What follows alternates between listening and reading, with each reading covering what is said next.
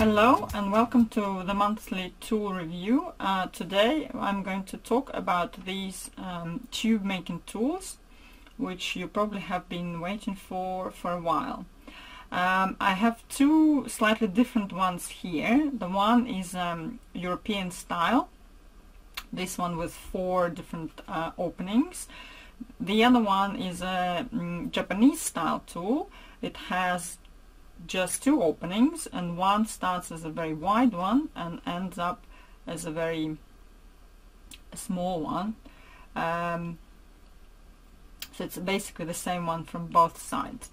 Uh, I personally think this one is probably easier to use just because you have you know four options and you are gradually shrinking your uh, piece of fabric or leather going through these four openings whereas here it's quite a drastic change from quite wide to quite you know going from quite wide to quite uh, thin opening. So uh, I'm going to show how to use them. Um, these tools are a bit different in terms of um, holding them and uh, things like that. I will be showing them on the table. Uh, another option is to hold um, the, sol the soldering iron between your knees.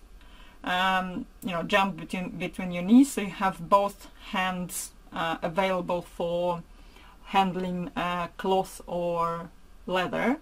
Um, you have to be really careful because you know the tools are really really hot so uh, if you do use your knees for that please wear jeans or something you know some thick trousers and an apron. Uh, don't do it with your you know naked legs or anything like that. So the tools need to be obviously warmed up. If you work with fabric you, the fabric has to be pre-stiffened. My leather is also pre-stiffened um, to be on the safe side. You can try with not stiffened leather, maybe it will work, but I guess it's probably going to be less um, predictable, I would say. Uh, if you, when you cut the fabric, uh, you need to cut it on the bias for the mm, uh, for the tubes like this, and uh, it's about uh, a centimeter, centimeter point two millimeters wide, about this width. Same with the leather. So you see the sort of similar. Uh, you also need to prepare a little piece of wire, just any wire, because uh, this is what we're going to be holding and pulling the uh, fabric or leather with through the hot tool. So we don't, we're not touching it uh, at any point. So uh, let's uh, warm up the tools and let's see how they um, how they are working. Um, I have securely placed my tool um, on on a uh, box and it's uh, weighed down uh, with a bag of uh, millinery tools. So it should be pretty steady. And I have both hands to show you what we're doing. So um, let's check how we do uh, tubes with fabric first. You have your uh, strip of silk. Um, or other fabric. I have uh, denim here as well. It's probably better to use uh, fabrics which have a bit of weight, a bit of body to them. Organza is quite thin, so I don't know, you might experiment and find it's okay. But probably the ones that have a bit more weight, like satins, Dupioni I have here, um, linen, cotton, denim, things like that should probably be uh, easier to work with and will produce a more consistent result. So to avoid being burnt, I'm going to stick a wire into the fabric if I can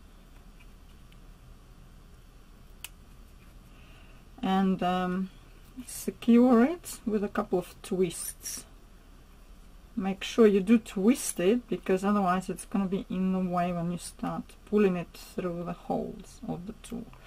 Right so I have it um, you know have my wire secured in a strip of silk. And now we're going to start by pulling the silk through the largest hole first. Make sure you are directing the fabric the way you want to be it's to be directed um, it will um, this little point we can cut off because it's also going to be in the way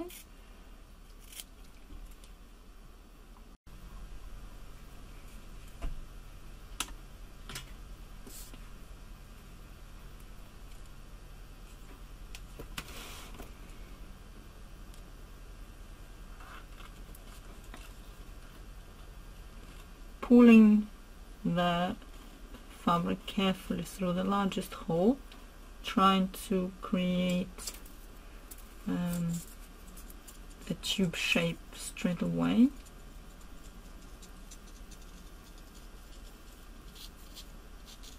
As our fabric is cut on the bias, you will see that your strip of fabric will actually uh, elongate, will become longer, because it will stretch. So after the first hole, it's quite an uneven, very loose tube, but uh, um, the most important thing is that we can see the tube shape straight away. So next, the next step is going through the second tube. It should second hole, sorry. It should make it tighter. Uh, have your tool reasonably hot, so it does shape the fabric.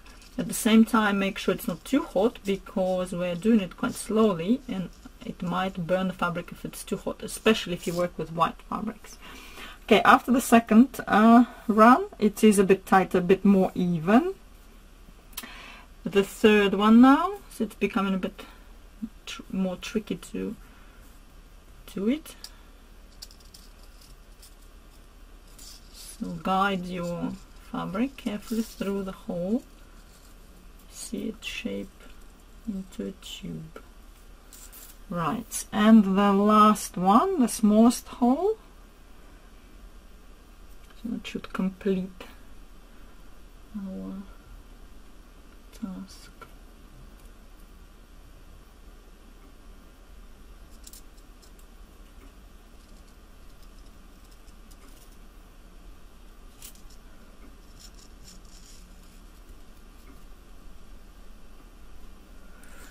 Right, so here here is the the tube that I made out of um, Japanese silk. Uh, you'll see it might be uneven in places. It will definitely need trimming uh, on either end, so where we had the wire and the other one, they will not be tidy. This sort of length could have probably been cut in two uh, because it's quite long, or depending on where you want to use it. The tubes are used for decorating uh, flowers for uh, false stems. So the, here are two lengths. Some artists um, add a tiny bit of glue uh, in the seam and um, make sure it's sealed. I'm not going to do it now. Um, the tubes can be unrolled if you want. They're not, you know, completely sealed with this tool, but uh, they're reasonably uh, sealed enough for me to use in, in my designs. I probably wouldn't add any glue there. So here are the silk ones and uh, you can try with different fabrics as I said, not only silks.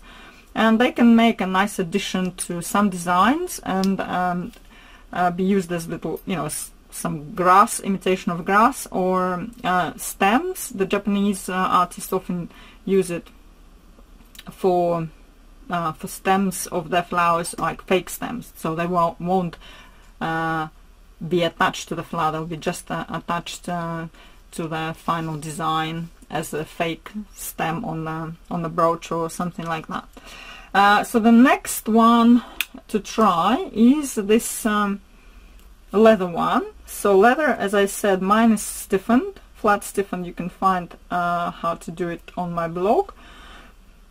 You may try and use unstiffened leather, but I believe it might be a bit less predictable in, in here, but maybe worth trying.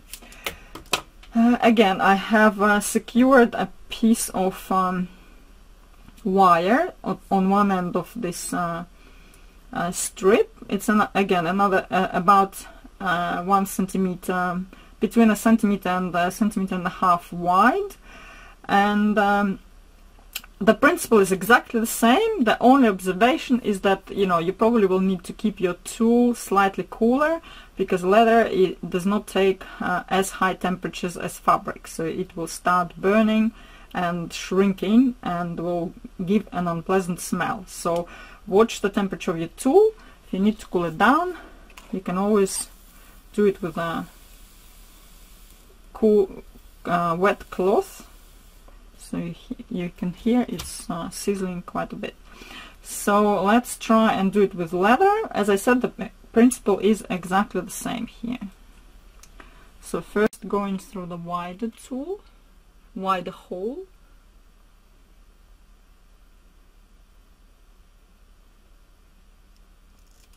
Forming um, a preliminary tube which looks quite okay already but still not very tight then the next size we'll tighten it up. Leather is actually quite okay to shape here. Yes so it's making it's it's become a bit tighter and smaller in diameter. The third size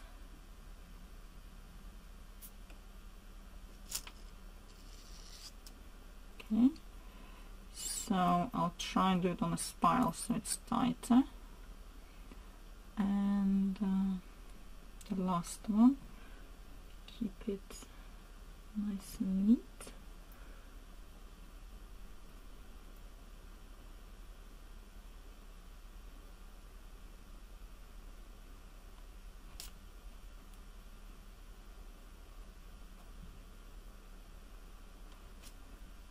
Right so here is the leather tube. You can see you can still open it you can probably run it another time if you want. I might seal it a bit more but again I'm not particularly bothered about the tubes being able to open up slightly.